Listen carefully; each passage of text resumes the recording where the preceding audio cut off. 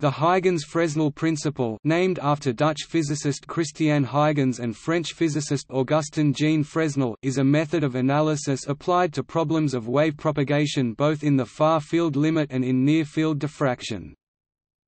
It states that every point on a wavefront is itself the source of spherical wavelets. The sum of these spherical wavelets forms the wavefront.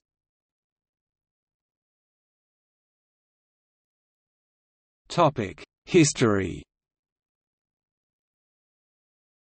In 1678, Huygens proposed that every point to which a luminous disturbance reaches becomes a source of a spherical wave, the sum of these secondary waves determines the form of the wave at any subsequent time.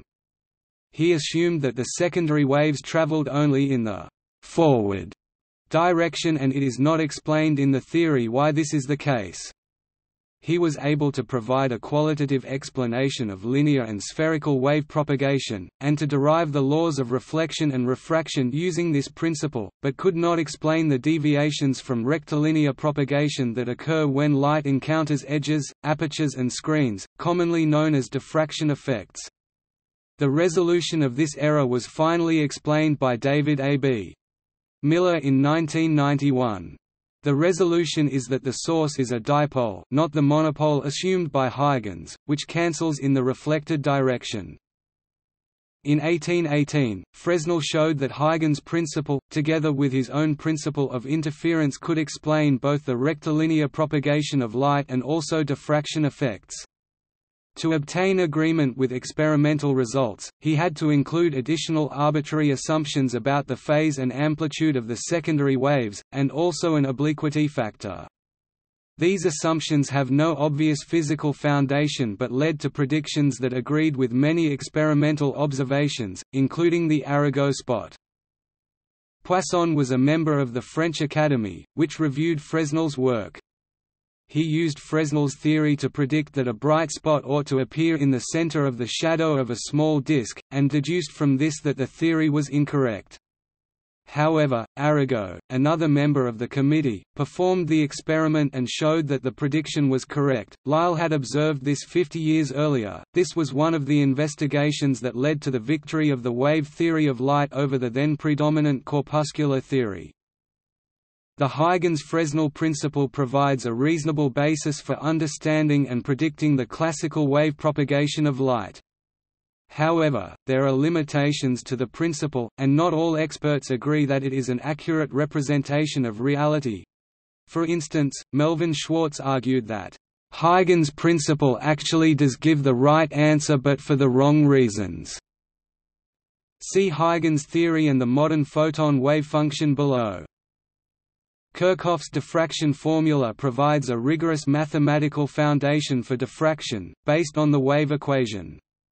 The arbitrary assumptions made by Fresnel to arrive at the Huygens-Fresnel equation emerge automatically from the mathematics in this derivation. A simple example of the operation of the principle can be seen when an open doorway connects two rooms and a sound is produced in a remote corner of one of them. A person in the other room will hear the sound as if it originated at the doorway. As far as the second room is concerned, the vibrating air in the doorway is the source of the sound.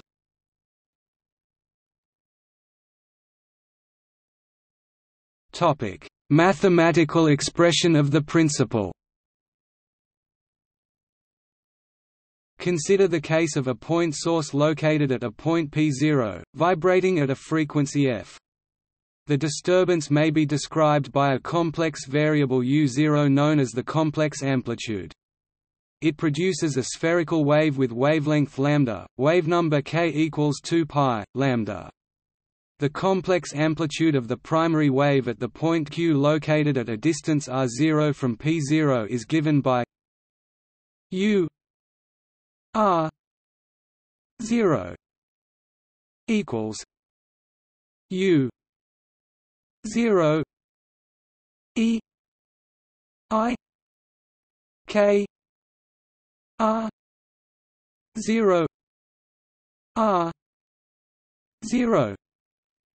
Display style u r underscore zero equals frac u underscore zero e caret i k r underscore zero r underscore zero since the magnitude decreases in inverse proportion to the distance traveled, and the phase changes as k times the distance traveled. Using Huygens theory and the principle of superposition of waves, the complex amplitude at a further point p is found by summing the contributions from each point on the sphere of radius r0. In order to get agreement with experimental results, Fresnel found that the individual contributions from the secondary waves on the sphere had to be multiplied by a constant, minus i, lambda, and by an additional inclination factor, k chi. The first assumption means that the secondary waves oscillate at a quarter of a cycle out of phase with respect to the primary wave, and that the magnitude of the secondary waves are in a ratio of 1, lambda to the primary wave. He also assumed that k had a maximum value when chi topic 0 and was equal to 0 when chi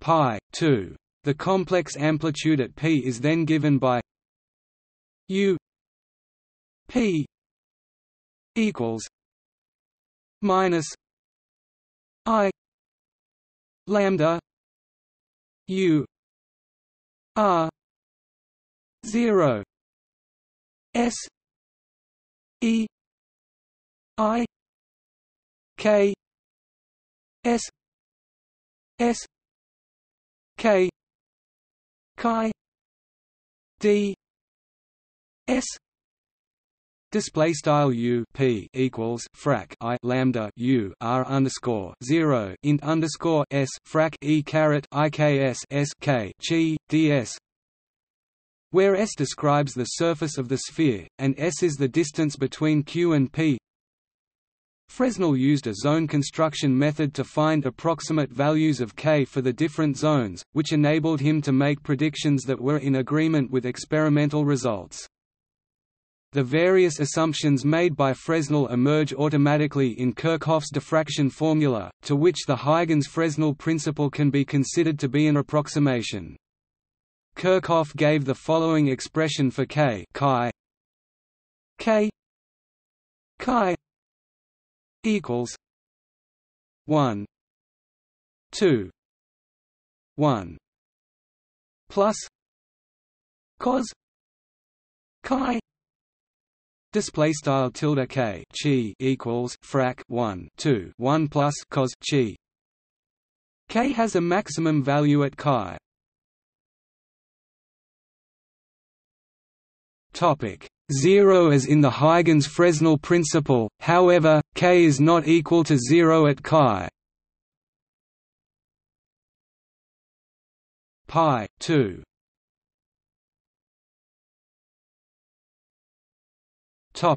Huygens theory and the modern photon wave function. Huygens theory served as a fundamental explanation of the wave nature of light interference and was further developed by Fresnel and Young but did not fully resolve all observations such as the low-intensity double-slit experiment that was first performed by G. I. Taylor in 1909, see double-slit experiment.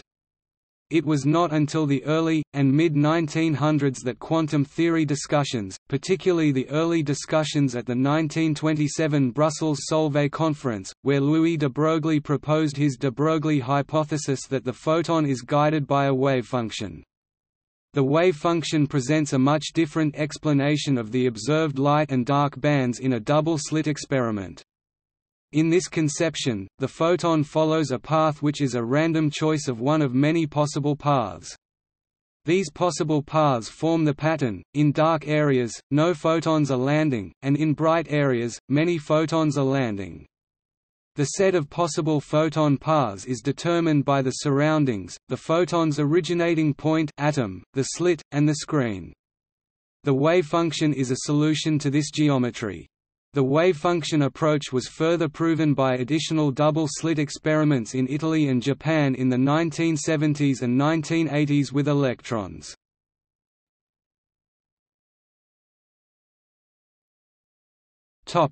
Huygens principle and quantum field theory Huygens principle can be seen as a consequence of the homogeneity of space, the space is uniform in all locations. Any disturbance created in a sufficiently small region of homogeneous space or in a homogeneous medium propagates from that region in all geodesic directions. The waves produced by this disturbance, in turn, create disturbances in other regions, and so on. The superposition of all the waves results in the observed pattern of wave propagation. Homogeneity of space is fundamental to quantum field theory QFT where the wave function of any object propagates along all available unobstructed paths. When integrated along all possible paths, with a phase factor proportional to the action, the interference of the wave functions correctly predicts observable phenomena. Every point on the wavefront acts as the source of secondary wavelets that spread out in the light cone with the same speed as the wave. The new wavefront is found by constructing the surface tangent to the secondary wavelets.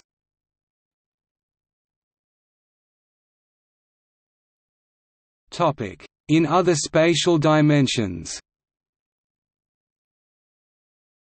In 1900, Jacques Hadamard observed that Huygens' principle was broken when the number of spatial dimensions is even. From this, he developed a set of conjectures that remain an active topic of research. In particular, it has been discovered that Huygens' principle holds on a large class of homogeneous spaces derived from the Coxeter group so, for example, the WEYL groups of simple Lie algebras. The traditional statement of Huygens' principle for the D'Alembertian gives rise to the KDV hierarchy. Analogously, the Dirac operator gives rise to the AKNS hierarchy. See also